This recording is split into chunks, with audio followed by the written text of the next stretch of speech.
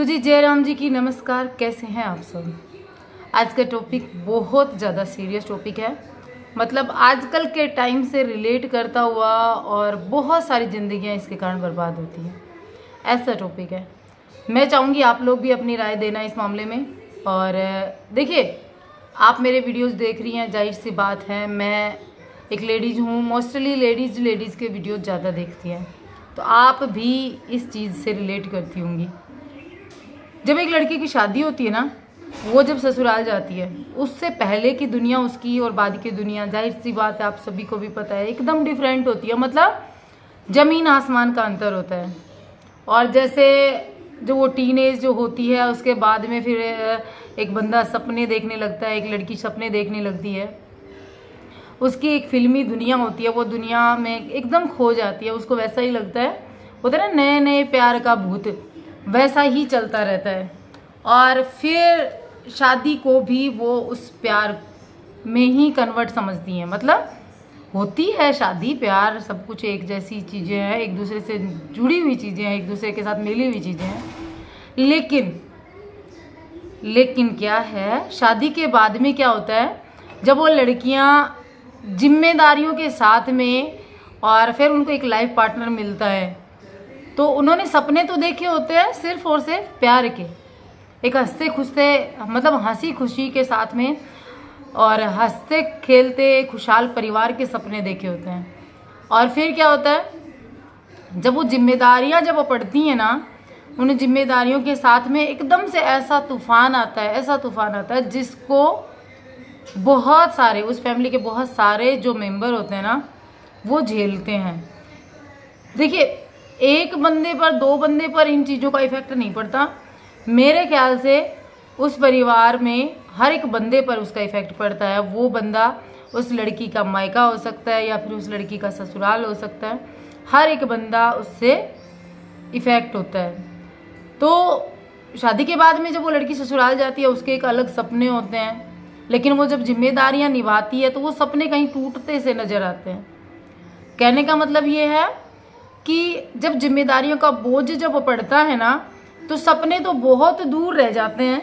वो सपने तो बहुत दूर रह जाते हैं। और उन सपनों के साथ में, उन जिम्मेदारियों को निभाने में कुछ परसेंट ही कामयाब हो पाती हैं। शुरू वाले दौर में मतलब कि बहुत सारे रिश्ते उसी दौर में उनके छूट जाते हैं या टूट जाते हैं। यही चीज़ हम आज के वीडियो में डिस्कस करने वाले हैं। टॉपिक बहुत सीरियस है, बहुत सारे परिवार इफ़ेक्ट होते हैं। मायका पूरा इफ़ेक्ट होता है उससे। ससुराल वाले परेशान होते हैं। वो लड़की सबसे ज़्यादा परेशान होती है मेंटली डिस्टर्ब होती है। सुखी वो लड़का भी नहीं रहता। सब कोई परेशान होते हैं। तो उस समय में, उस दौर में कौन सी ऐसी चीज़ें हैं? देखिए, मेरी शादी को बारह साल हो गए। छोटा मुँह बड़ी बात हो सकती है, लेकिन मेरी ये सोच रही है कि मुझे जहाँ से जो चीज़ अच्छी लगी मैंने ले ली है। तो यहाँ पे मैं आप लोगों के साथ में वही अपना एक्सपीरियंस शेयर कर रही हूँ। शुरुआती जो दौर होता है ना, वो बहुत ज़्यादा डिफ़िकल्ट होता है। परेशानियाँ एकदम ताबड़तोड़ आती हैं। लड़की उनके सामने, वो भाई एक नए घर में आई है, हर एक चीज़ उसके लिए चैलेंजिंग है। उसको एक नई लाइफस्टाइल फॉलो करनी है। उसकी टूथ ब्रश तक, जब शादी के बाद आती है, जब चेंज होती है लाइफ कपड़े चेंज होते हैं, हर एक चीज़ उसकी चेंज हो जाती है, नया घर, नया परिवार, नए कपड़े, नया लाइफस्टाइल तो उसको किन चीज़ों का ध्यान रखना चाहिए? और परिवार के बारे में हम बाद में बात करेंगे, फ़र्स्ट उस लड़की के बारे में बात करेंगे। क्योंकि पूरा परिवार वही है, एक वो लड़की ही चेंज हुई है उस घर में। और उस लड़की की मैं यहाँ गलती भी नहीं बताती कि भाई उसकी ही गलती है। बस ये है कि सब चेंज हुआ, उसके कारण उसका माइंड सेट थोड़ी ना है, जो चेंज हुआ है। लाइफ स्टाइल चेंज हुई है माइंड सेट तो वही है जो पहले से, बचपन से जो हुआ है, वही माइंड सेट है। अब उसको चेंज होने में तो समय लगेगा। और वो क्या होता है, कई बार कई लोग समय ले लेते हैं, कई लोग क्या होते हैं, फैसले बहुत जल्दी होते हैं। और वो फैसलों के चक्कर में लाइफ डिस्ट्रॉय परिवार खराब। आजकल के दौर की समस्या ही है उसी समय में वो लड़की अगर थोड़ा सा इन चीज़ों का ध्यान रखे ना तो परिवार टूटने से बच सकता है और उसकी खुद की लाइफ भी बहुत अच्छी हो सकती है। तो देखिए, पहली बात, जब आप ससुराल जाते हैं तो ये माइंडसेट ना रख करके कि सिर्फ़ और सिर्फ़ प्यार है, खुशियाँ हैं, सब कुछ अच्छा अच्छा है, ये ना रख करके ये भी सोचिए कि आप एक ज़िम्मेदारी में बंधने जा रहे हैं। ग्रस्त जीवन सबसे कठिन जीवन बताया गया है। कहते हैं, सन्यासियों का जीवन संयम पूर्वक होता है, लेकिन ग्रस्त जीवन जो होता है ना, उसमें जितना संयम होता है ना, उसमें जितना संयम चाहिए। मेरे ख्याल से तो संयम उससे ज़्यादा संयम, सन्यासियों को नहीं चाहिए, जितना संयम ग्रस्त आश्रम में रहने वाले गृहस्थी में रहने वाले लोगों में होना चाहिए। तो छोटी छोटी बातों पे रिएक्ट करने से अच्छा है देखिए, आप अगर छोटी सी प्रॉब्लम वो कोई भी हो सकती है। आपके कपड़े पहनने पे हो सकती है, आपके उठने पे हो सकती है, आपका खाना बनाने पे हो सकती है, या आपका खाना खाने पे भी हो सकती है। आप किस तरीके से खाते हैं? उन चीज़ों में रिएक्ट करने की बजाय, अगर आप रिएक्ट करते हैं तो उसका क्या निकलता है रिज़ल्ट कि आप खुद को मेंटली स्ट्रेस देते हैं। फैमिली स्ट्रेस में आती है। आप उस छोटी सी चीज़ से स्ट्रेस में आए, दूसरी गलती करोगे सेम डे करोगे।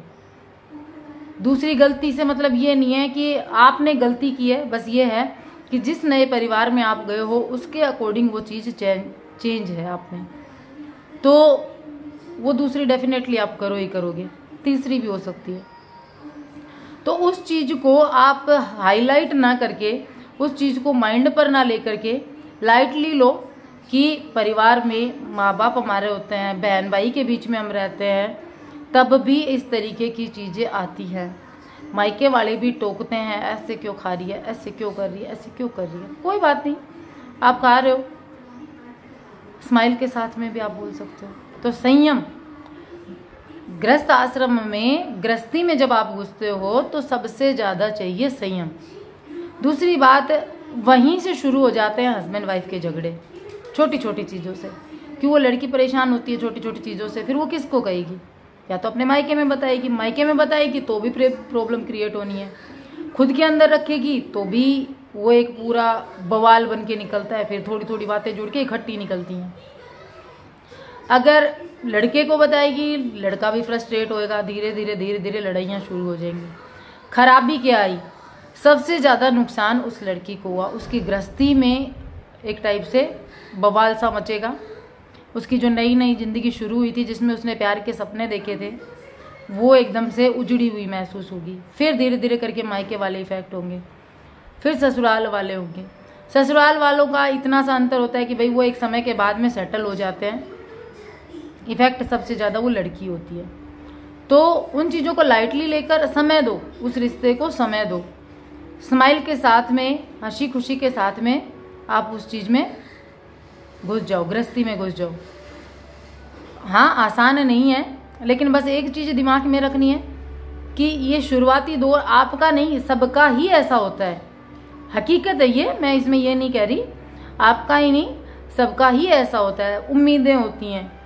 हर एक बंदे को उम्मीदें होती हैं। ससुराल वाली फैमिली को, चाहे वो ननद हो, देवर हो, सास हो, सबको अपने अकॉर्डिंग एक उन्होंने एक उम्मीद बना रखी है, उन्होंने एक आपका चरित्र बना रखा है कि आप इस तरीके से आप इस घर में रहोगे। तो वो सारी उम्मीदें हैं, वो धीरे धीरे टूटती हैं। लेकिन अगर आप चेंज मत हो, लेकिन स्माइल अगर चेहरे पे है, आपने रिएक्ट नहीं किया, आपने मेंटली स्ट्रेस नहीं लिया, आप सेम अच्छा खासा व्यवहार जैसा आप अपने परिवार में, मायके में करते आए स्माइल के साथ में, सबके साथ उठना, बैठना, प्यार से बातें करना तो मैं गारंटी देती हूँ कि वो जो चीज़ें हैं ना वो नोटिस होनी बंद हो जाएँगी समय के साथ कि आप ये गलती कर रहे हो, वो गलती कर रहे हो, वो सारी चीज़ें नोटिस होनी बंद हो जाएँगी, कोई आपको टोकेगा भी नहीं। बस चेहरे पे अंदर से स्माइल होनी चाहिए, खुशी होनी चाहिए। ये नहीं दिखना चाहिए कि आपके ऊपर उस बात का कोई असर हुआ। सबके साथ में आप सुकून से बैठो, जो घर में आपसे काम होता है, जैसे वो लोग चाहते हैं वैसे चाहे, थोड़ा कर लो लेकिन वैसे कर लो। क्योंकि आपको चेंज होना पड़ेगा उस परिवार के अकॉर्डिंग वो पूरा परिवार आपके अकॉर्डिंग नहीं बदलने वाला। अब आप उस परिवार के अकॉर्डिंग जैसे जैसे थोड़ा थोड़ा थोड़ा थोड़ा अपने आप को ढालना शुरू करोगे, आपको अपने आप में ही खुशी महसूस होनी शुरू हो जाएगी। परिवार वालों को भी अंतर धीरे धीरे दिखना शुरू होगा। और सबसे बेस्ट बात, पति और पत्नी का जो रिश्ता होता है, वो नहीं टूटेगा। उसमें लड़ाई झगड़े नहीं होंगे, क्योंकि वो लड़ाई झगड़े ज़्यादातर परिवार के इन्वॉल्वमेंट के कारण ही होते हैं। फैमिली इन्वॉल्व होती है और फैमिली तो भाई इन्वॉल्व होगी। उस लड़के को उन्होंने पाल पोस कर इतना बड़ा किया है। उसके साथ उन्होंने इतने सपने देखे हैं। सब कुछ इतना किया है। तो बस, सिर्फ़ वो जो आपका जो व्यवहार है ना, जैसा आपने मायके में किया खुशी खुशी रहना, हर एक चीज़ को लाइटली लेना, वो जो है ना, वो आपने अपना लिया ना, ज़िंदगी बन जाएगी। किसी को भी आपसे आने वाले समय में कोई दिक्कतें नहीं होंगी।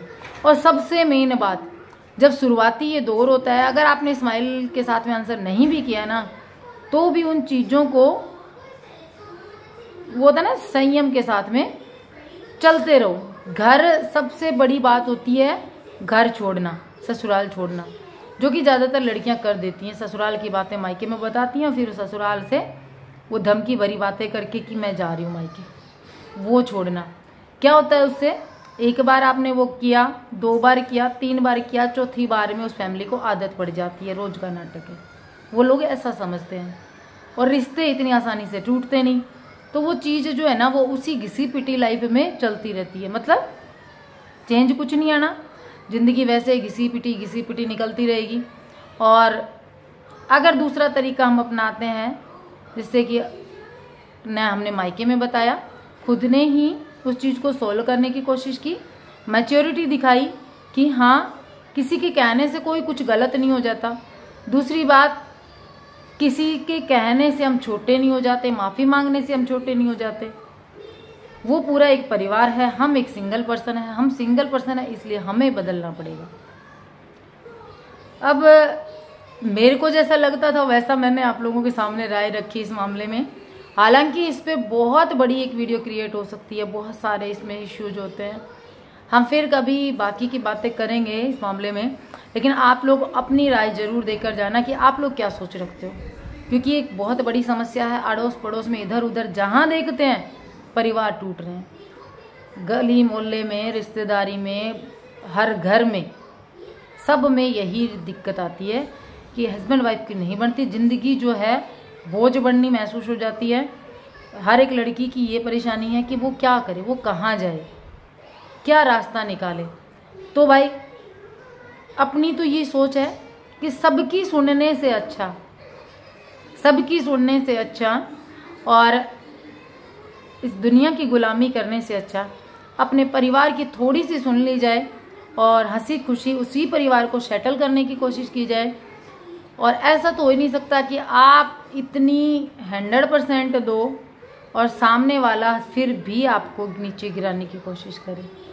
तो अपनी तरफ़ से शुरुआती दो तीन साल तक हंड्रेड परसेंट दे के देखो और फिर भी अगर कोई रिज़ल्ट नहीं मिलता है, तब तो भाई कुछ ना कुछ स्ट्रॉन्ग स्टेप लेना ही होता है। लेकिन शुरुआती दो तीन साल तो संयम रखना ही है, क्योंकि ज़िंदगी एक बार मिलती है और उसको खुशी खुशी से जिया जाए।